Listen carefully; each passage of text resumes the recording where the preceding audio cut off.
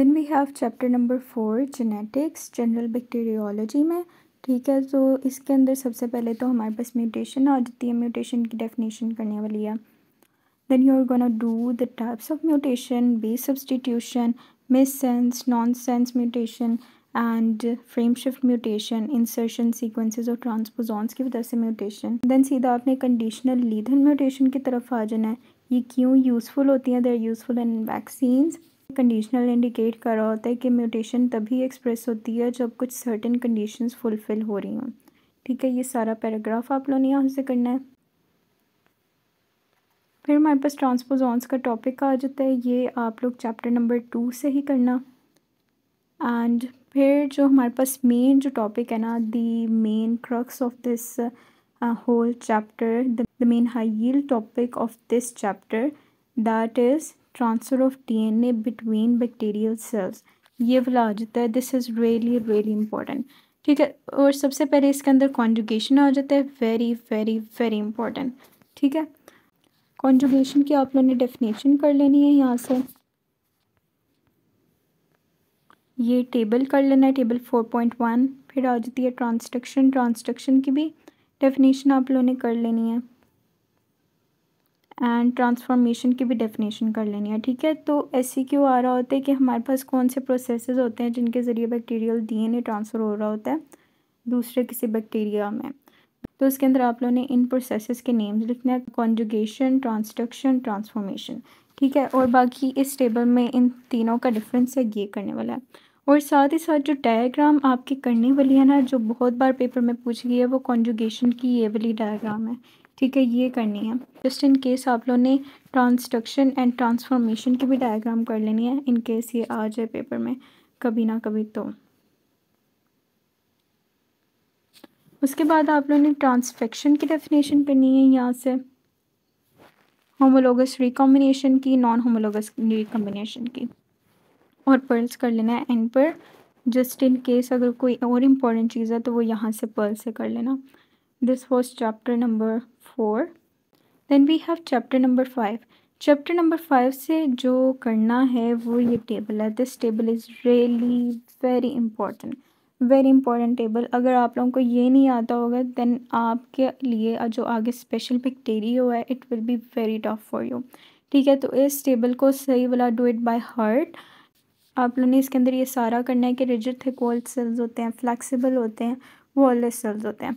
और rigid thick walls में हमारे पास फ्री लिविंग आ जाते हैं नॉन फ्री लिविंग आ जाते हैं फ्री लिविंग में ग्राम पॉजिटिव आ जाते हैं ग्राम नेगेटिव आ जाते हैं एसिड फास्ट आ जाते हैं ग्राम पॉजिटिव में भी आगे को काय आ जाता है एंड रॉड्स आ जाते हैं रॉड्स में spore forming and non spore forming and इसकी भी आगे से डिटेल करनी है सारी एंड ग्राम नेगेटिव में भी कोकाए आ जाते हैं रॉड्स आ जाते हैं एंड रॉड्स में भी आगे फैकल्टेटिव आ जाते हैं एरोबिक आ जाते हैं एंड एनारोबिक आ जाते हैं ठीक है ये सारा कुछ आपने करना और इनकी एग्जांपल्स भी करनी है आ, इनके जीनस भी करने हैं कि स्ट्रेप्टोकोकसारा स्टेफाइलोकोकसारा बेसिलस एंड क्लॉस्ट्रीडियम इसे याद करने का तरीका एक ये है कि मैं आप लोगों के साथ ना एक आम, वीडियो शेयर करती हूँ उस वीडियो का लिंक डाल देती हूँ डिस्क्रिप्शन में ताकि आप वहाँ से इसकी सारी क्लासिफिकेशन कर लें। उसके अंदर एयरोबिक बैक्टीरिया का भी बताया हुआ है एनरोबिक बैक्टीरिया का भी मोटाइल एंड नॉन मोटाइल वो सारा बताया हुआ है तो you can do it from there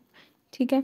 वैसे अभी जो जनरल बैक्टीरियो के लेवल पर अगर आप लोगों का टेस्ट है ना तो ये सारा इम्पोर्टेंट है, ठीक है? एंड रिप्रेजेंटेटिव डिज़ीज़ भी अभी आप लोगों के लिए नहीं इम्पोर्टेंट जब आप स्पेशल बैक्टीरियो का दोगे then this will be important too then we have chapter number six normal flora इसके अंदर आप लोगों ने नॉर्मल फ्लोरा की डेफिनेशन करनी है। पेपर में बहुत बार पूछी जा रही होती है।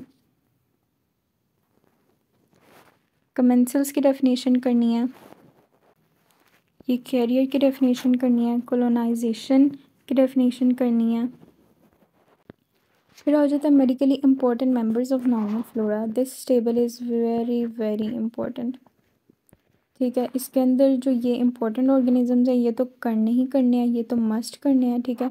और साथ में इनकी भी नोहा होनी चाहिए कि जो लेस इंपॉर्टेंट ऑर्गेनिज्म है ना, उसके अंदर कौन कौन से आ जाते हैं। ये पूछा जा रहा होता है कि स्किन का जो स्किन की नॉर्मल फ्लोरा क्या होती है? Staphylococcus epidermis and dental plaque की क्या होती है? स्ट्रेप्टोकोकस म्यूटेंस टू में भी बताया था कि स्ट्रेप्टोकोकस म्यूटेंस की वजह से डेंटल केरीज हो रहा होता है। तो उससे आपको वो कैसे याद रहेगा कि because streptococcus mutans dental plaque का नॉर्मल फ्लोरा होता है, ठीक है? दैट्स वाई इसी की वजह से आगे डेंटल केरीज बिकॉज़ हो रहा होता है। Other important definition colonisation resistance very important ठीक है? ये सारी करनी है कोलोनाइजेशन रेजिस्टेंस उसके बाद ये ह्यूमन माइक्रोबायोम यहाँ से दिस इज़ नॉट इम्पोर्टेंट आगे से भी आप लोग स्किप कर सकते हैं, यहाँ से सारा स्किप कर लें। Then you are gonna come to the pearls ये पर्ल्स आप लोगों ने करने हैं सिर्फ़ ये बाकी सारा स्किप करा दें। And come directly to pearls और पर्ल्स में जो मैंने चीज़ें बताई हैं उसके अलावा जो भी आप लोगों को uh, जो भी आप लोगों को लगता है कि मैंने नहीं बताई हुई then do it from pearls ठीक है? बाकी जो इंपॉर्टेंट चीज़ें थी इस चैप्टर की मैंने आप लोगों को बता दी और वही पेपर में आ रही होती हैं बार बार chapter number seven pathogenesis of general bacteriology इसके अंदर हमारे पास पैथोजन की डेफिनेशन करनी है अपॉर्चुनिस्टिक पैथोजेंस देखने हैं आपने, इसकी डेफिनेशन क्या है विरुलेंस की डेफिनेशन इन्फेक्शस डोज की डेफिनेशन इसके अलावा ऑब्लिगेट इंट्रासेलुलर पैरासाइट्स की definition then skip everything else and come to types of bacterial infection that bacteria cause disease by two major mechanisms toxin production invasion and inflammation toxins के आगे से two types होती हैं exotoxin and endotoxin इनका जो difference है it is very important इसका पूरा टेबल होता है, वो आप लोगों ने याद करना होता है। देन आप लोगों ने कम्युनिकेबल इन्फेक्शंस की डेफिनेशन करनी है कि कम्युनिकेबल का मतलब क्या होता है they are spread from host to host and then हमारे पास एक बहुत ही इंपॉर्टेंट बहुत ही इंपॉर्टेंट डेफिनेशन आ जाती हैं कि एपिडेमिक क्या होता है पेंडेमिक क्या होता है एंडेमिक क्या होता है। और कोलोनाइजेशन की इन्होंने दोबारा से यहाँ पर डेफिनेशन दे दी है कि colonisation refers to the presence of new organisms that is neither a member of the normal flora nor the cause of the symptoms stages of bacterial pathogenesis ये आप लोगों ने करना है इसकी जो सारी स्टेजेस होती हैं डू दैम फोमाइट्स आप लोगों ने यहाँ से करने हैं। कि फोमाइट्स क्या होते हैं? एंड वर्टिकल ट्रांसमिशन और हॉरिजॉन्टल ट्रांसमिशन, ये बहुत बार एम में आई होती है। एम में आ रही होती है कि वर्टिकल ट्रांसमिशन हमारे पास मदर से offspring horizontal transmission person to person होती है।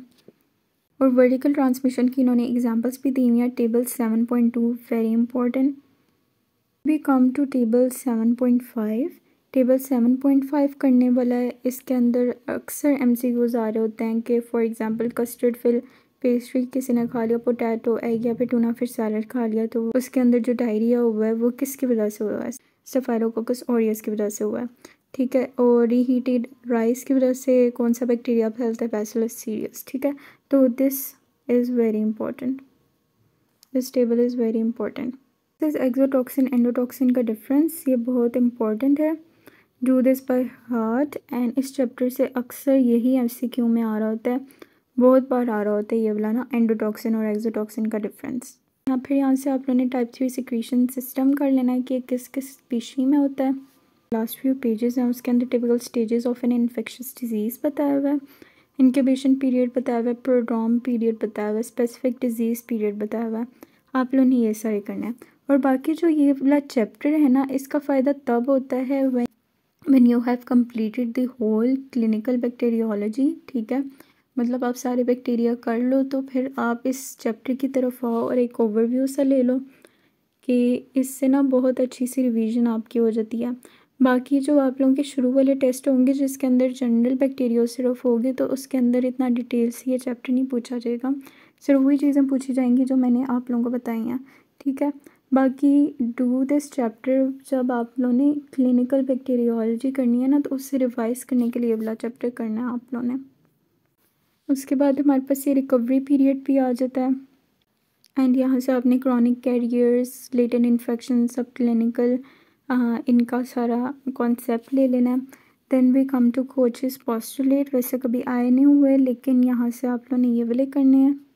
बाकी इफ़ यू थिंक कि आप लोगों से वो जो इस चैप्टर में डेफिनेशन दी हुई हैं, वो अगर आप लोगों के लिए मुश्किल हैं तो आप लोग पल से सारी डेफिनेशन कर सकते हो। इसके अंदर भी दी हुई पैथोजन अपॉर्चुनिस्टिक पैथोजन विरलेंस और आई डी फिफ्टी की डेफिनेशन आप लोगों ने यहाँ से करनी है। एंडेमिक एपिडेमिक्स पेंडेमिक्स और बाकी इन्होंने typical stages of in infectious disease वो ज़रा छोटे से यहाँ पर लिखी हुई है। बाकी दिस इज़ इनफ जो मैंने आप लोगों को बताया। Next we move on to chapter number eight chapter number eight जो होस्ट डिफेंसेस वाला है इसके अंदर आपने बस कॉन्सेप्ट लेना है कि इनेट इम्यूनिटी क्या होती है अडेप्टिव इम्यूनिटी क्या होती है। ठीक है तो जो आपने ये वाला जो चैप्टर होता है, ये डिटेल्स आप इम्यूनोलॉजी में करते हो। ठीक है, अभी यहाँ से आप लोगों ने नहीं करना इम्यूनोलॉजी से करना है, और ना ही ये जनरल बैक्टीरियो के टेस्ट में कभी पूछा जाता है। और ना ही ये जनरल बैक्टीरियो के टेस्ट में कभी ये पूछा जाता है। अब इसके ना पर्ल्स में आ जाते हैं चैप्टर नंबर एट के जस्ट इन केस आप लोगों ने यहाँ से पैसिव इम्यूनिटी की डेफिनेशन करनी है एक्टिव इम्यूनिटी की डेफिनेशन करनी है। नीट इम्यूनिटी का देखना है यहाँ से। एंड दैट्स इट फिर आ जाता है हमारे पास chapter number nine lab diagnosis very important इसके अंदर सबसे पहले आ जाता है approach to lab diagnosis of an infectious disease इसके लिए हमारे पास टू अप्रोचेज़ होती हैं। बैक्टीरियोलॉजिक अप्रोच होती है इम्यूनोलॉजिक यानी कि सीरोलॉजिक अप्रोच होती है। तो चैप्टर नंबर एट में आप लोगों ने टेबल नाइन पॉइंट वन करना है, सही वाला करना है। ये आप लोगों को आना चाहिए। वाइवा में बहुत बार पूछ लेते हैं कि जनरल अप्रोच क्या होती है to to the diagnosis of bacterial infection और अगर आप लोग यहाँ से कर लोगे तो स्पेशल बैक्टीरियोलॉजी में भी आप लोगों के लिए लैब डायग्नोसिस करना will be really easy then we have table nine point two how to diagnose a bacterial infection one culture is negative ये आप लोगों ने करना है। टेबल नाइन पॉइंट थ्री ये करना है कि कौन से एगर पर आपका कौन सा बैक्टीरिया आइसोलेट हो रहा होता है। ठीक है, ये दोनों चीज़ें करनी है। ये आप लोग से एम सी क्यूज़ में पूछ सकते हैं। Then we have immunologic methods इसके अंदर हर मेथड के नेम कर लेने हैं। कि identification of an organism with known anti serum इसके अंदर कोयलिंग रिएक्शन आ जाता है slide agglutination latex agglutination counter immunoelectrophoresis test आ जाता है। इंजाइम लिंक्ड इम्यूनोसॉर्बेंट एसे आ जाता है। फ्लोरसन एंटीबॉडी टेस्ट आ जाता है। And identification of serum antibiotics with known antigens slide या ट्यूब एग्लूटिनेशन आ जाती है।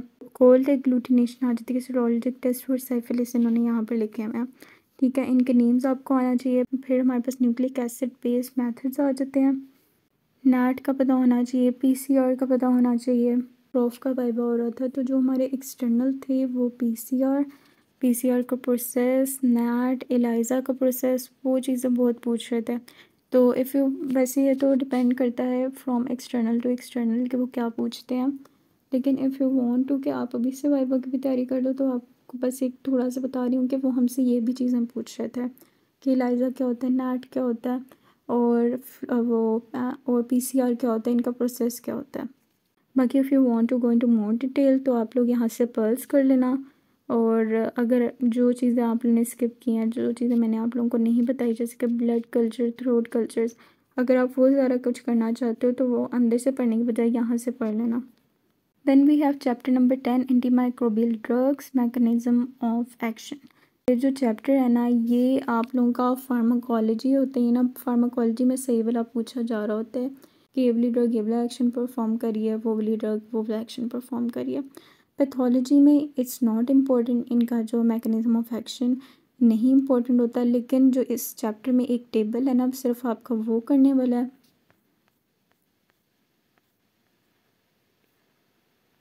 दैट इज़ ये वाला टेबल ये जो टेन पॉइंट टू है, ये एस में आता है? एंड इस चैप्टर से आपने बस यही टेबल करना है। उसके अलावा कुछ भी करने की ज़रूरत नहीं है, बाकी सारा फार्माकोलॉजी का मटेरियल है। बाकी सारा फार्माकोलॉजी का मटेरियल है। यहाँ से आप लोगों ने कीमो प्रोफ़ाइल एक्सेस की डेफिनेशन करनी है। फिर आ जाते हैं पर्ल्स पर्ल्स करने की ज़रूरत नहीं है इस चैप्टर में से। Chapter number eleven antimicrobial drugs resistance और इसके अंदर जो टेबल इलेवन पॉइंट वन है वेरी इंपॉर्टेंट ये बहुत बार आता है। और इसकी एग्ज़ाम्पल्स भी पूछी होती हैं मैकेनिज़्म और एग्ज़ाम्पल्स यहाँ से हाई लेवल रेजिस्टेंस करनी है लो लेवल रेजिस्टेंस करनी है. What are the non genetic reasons for failure of drugs to inhibit the growth of bacteria मतलब क्या क्या वजूहत हो सकती हैं कि that drug failed to work failed to perform its action तो इसके अंदर आप लोगों ने गिवले पॉइंट्स करने हैं। ये ऐसे क्यों में आ रहे होते हैं कि bacteria can be walled off within abscess cavity and bacteria can be in resting state वो लॉस्ट की वजह से एंड फॉरेन बॉडीज़ की वजह से आर्टिफैक्ट्स की वजह से। M I C minimal inhibitory concentration इसकी आप लोगों ने डेफिनेशन करनी है। मिनिमल बैक्टीरियासाइडल कंसनट्रेशन की डेफिनेशन करनी है। सीरम बैक्टीरियासाइडल एक्टिविटी की डेफिनेशन करनी है।